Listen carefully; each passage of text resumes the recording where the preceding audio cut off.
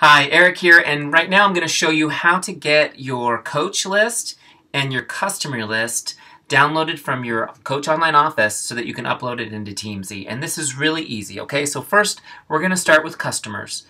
Um, and the reason we're going to start with customers first is because sometimes your customers become coaches. And if in, in some instances they're duplicated in the system, if you do customers first, Teamzy is intelligent enough to recognize that and they're going to keep that person as a coach when they import them. Okay, so we're going to go through my customers. So you go right here, my customers under my business, okay, in the online office, and then customer search.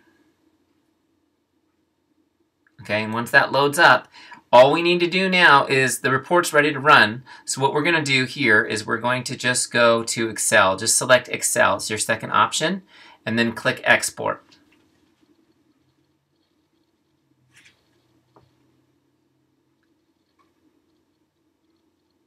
Okay, and that just takes a second to export.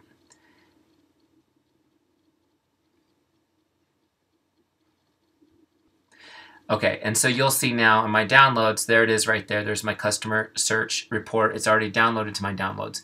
Now I'm going to go back to my business and we're going to get the coach list. So this time we're going to go downline and I'm going to do personally sponsored. You could also do full genealogy. It depends on how deep you want to go.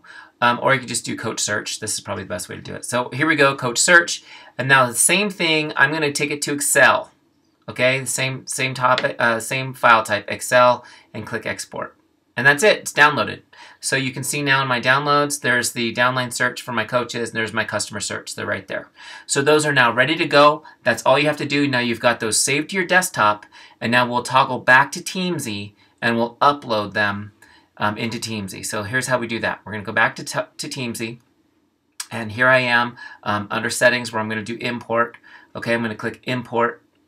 And it's asking me to upload the file. So now what I'm going to do is I'm going to click choose file. And it's going to take me to my downloads. And now I'm going to grab that customer list that I just downloaded from Beachbody. And um, now it's processing my file. Boom, there it is. Now we click next step.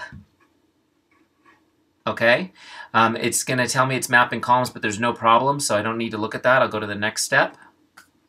Great, so now it's totally ready. We're going to import contacts.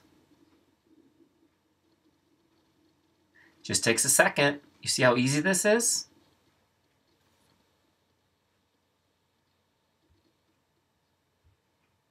Okay, so now it's now it's imported all of my customers and it's you can see that it's put them onto my Teams page.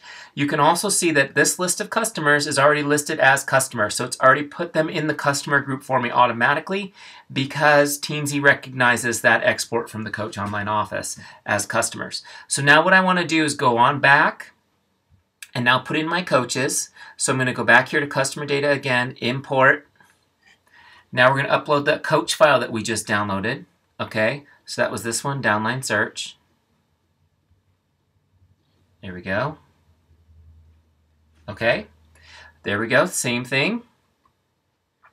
All right, next step, boom, ready to import my contacts, import. So you guys can see how incredibly easy this is. We did, we did a lot of work on the back end to make this easy for you. Okay, so now you can see it's now dropped me back onto my Teams page. If I were to click on coaches, you can see all my coaches are there now, and they've got them all listed in as coach. So now I have my group of customers, and I have my group of coaches. Okay, so that's all done for you. Now the next step is to rank them, and so make sure you go to the ranking video to, to see how to do that and why it's so important. Talk to you soon.